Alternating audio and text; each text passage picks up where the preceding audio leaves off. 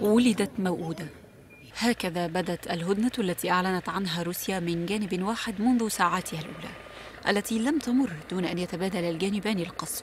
في حين كشفت الولايات المتحدة عن مساعدات عسكرية لأوكرانيا بقيمة ثلاثة مليارات دولار.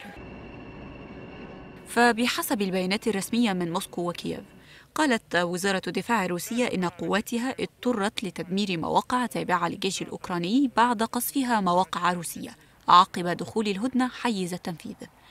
فيما كشف رئيس إدارة لوغانسك الأوكرانية أن مناطقهم تعرضت للقصف الروسي 14 مرة. كما جرت محاولات اقتحام ثلاث بلدات خلال ثلاث ساعات من الهدنة الروسية المفترضة. وبينما تتبادل روسيا وأوكرانيا القصف والاتهامات أعلنت الولايات المتحدة وألمانيا اعتزامهما تزويد أوكرانيا بمركبات قتالية مصفحة. بعد يومين من كشف باريس عن خطتها لإرسال دبابات قتالية خفيفة لكييف لتكون أول مرة يتم فيها إرسال دبابات غربية التصميم إلى القوات الأوكرانية.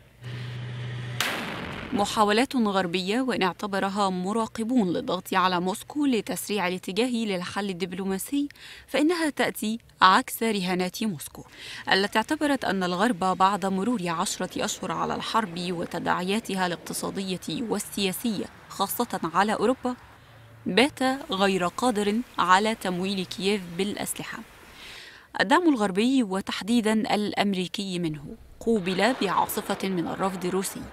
إذ حذرت موسكو من أن قرار واشنطن تزويد أوكرانيا بمركبات برادلي القتالية للمشاة يعد تأكيدا على أنها لن تستمع إلى الدعوات المتكررة من الجانب الروسي لأخذ التداعيات المحتملة لمثل هذا المسار الخطير لواشنطن في الاعتبار. تحركات تشير إذن إلى طول أمد الحرب على الأغلب وغياب أي أفق للحل القريب.